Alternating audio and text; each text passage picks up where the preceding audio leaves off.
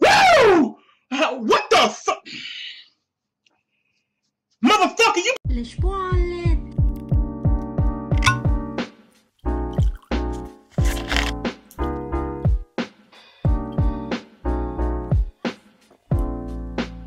Hey yo, what up? People? What up fam? I wanna die. So it has officially been announced. I got the news on my phone just recently. The initial release date of Need for Speed Unbound is December 2nd. Wow.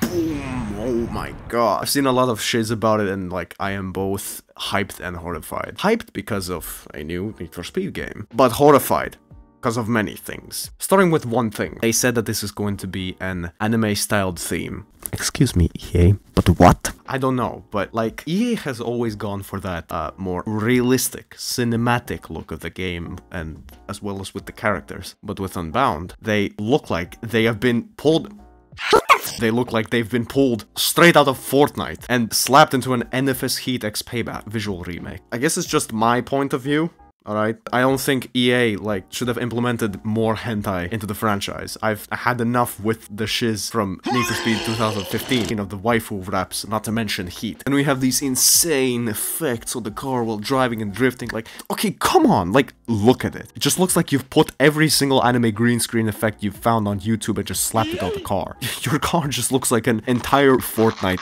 trail. Personally, I do not like how the characters are designed, they look too cartoony, looks like Dislyte with fucking cars. The hardcore JDM fans are gonna tear me up about this, but I believe that this whole anime drifting waifu senpai bullshit is a bit over-exaggerated as being like you're drifting or doing whatever. Why does it always have to be Japanese? I understand, but all fucking raps I've seen this and Prince and JDM content also, why the fuck is ASAP Rocky in the trailer? but of course, I cannot chat so much shiz about the game because it will look astonishing. Talking about the perspective of graphics, 4K, 30 and 60 FPS. Now that's gonna be some smooth shiz. I said from the anime theme, um, the game will be guaranteed to have a visually appealing look, so I won't be, um, disappointed about that. So, what is my professional opinion about Need for Speed Unbound?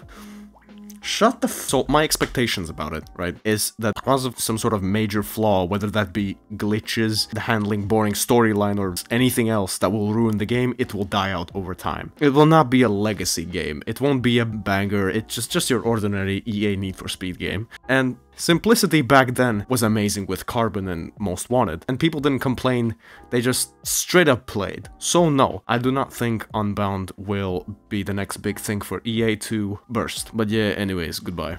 See you all next time.